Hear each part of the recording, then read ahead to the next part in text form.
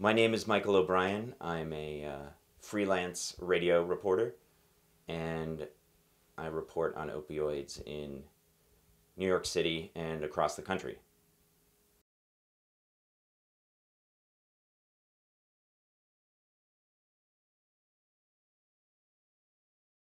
Actually, I heard about the hole and immediately decided that that was something that needed to be needed to be reported on. Um, I'd been following Tino uh, for a few months and um, you know following drug users and harm reductionists in the South Bronx, and I heard about this place that was had been around for 50 years and it had developed a community and that these were the most down and out drug users and they were living there and that they just gotten kicked out of their space and that all seemed like a story that needed to be told. Well in the story uh, the hole is emptied out. It's slated for to be filled in to be the foundation of a new police precinct. And um, that ha- is happening. Construction has broken ground so the hole is no more.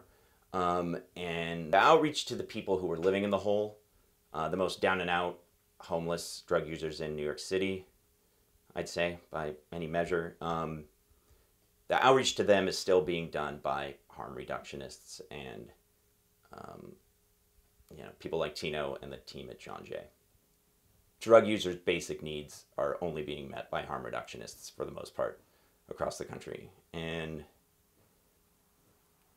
most of the um, public health, most of the public health initiatives that are actually benefiting drug users and people addicted to substances come from harm reduction and continue to come from harm reduction, whether it's safe injection facilities or um, you know from needle exchange to safe injection facilities to um, kind of combating the tough love ethos um, these are all proving to be, you know, according to the data, the most effective uh, ways to combat drug use and also the most humane. And that comes from harm reduction.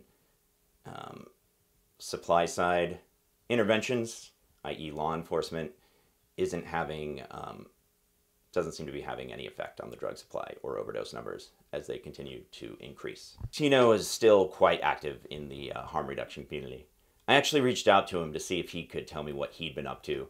Um, actually, I haven't talked to him for, for a few weeks. I can tell you that um, he's hard to reach. I usually, uh, these days, I usually only talk to him by phone. And um, he's been going to Ohio. He spends a lot of time in Philly.